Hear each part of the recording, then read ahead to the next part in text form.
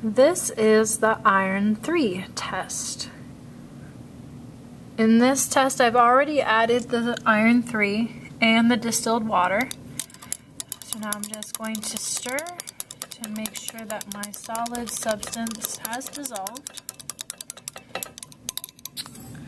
And in my third test tube, give that a stir.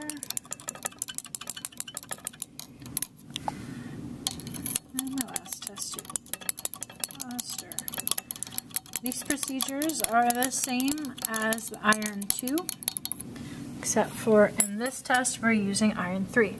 So in this first test tube I'm going to add in the K3 and then we will observe the color of the precipitate formed. So this is iron 3 and K3.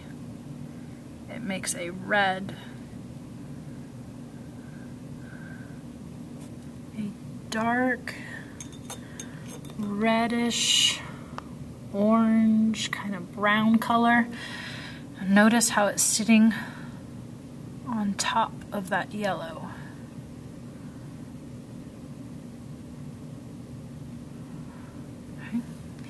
In our next test tube, we'll add in the K4 and observe the color of this precipitate.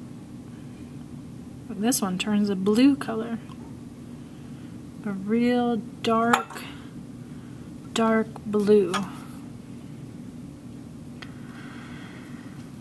So the iron 2 also turned a dark blue color, but if you remember in the iron 2, below the blue was a white, clear, colorless solution. In this one we have a yellow solution underneath that dark blue and it also sits near the top when it's not disturbed. Then we'll add into the KSCN to see color this one changes. And we get a red precipitate also. So how to differentiate between iron 2 and iron 3 is that iron 2 turns blue in K3 where iron 3 turns red. Both irons turn blue in the K4 solution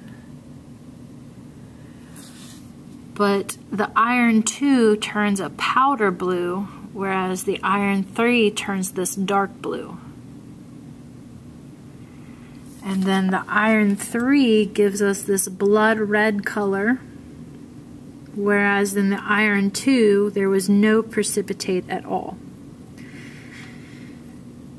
In order to identify iron, it has to make these three solutions.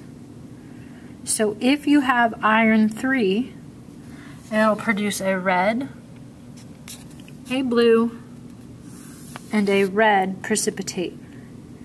If you have iron 2, then you should go back to the iron 2 video to see what color precipitates are formed in which reactants.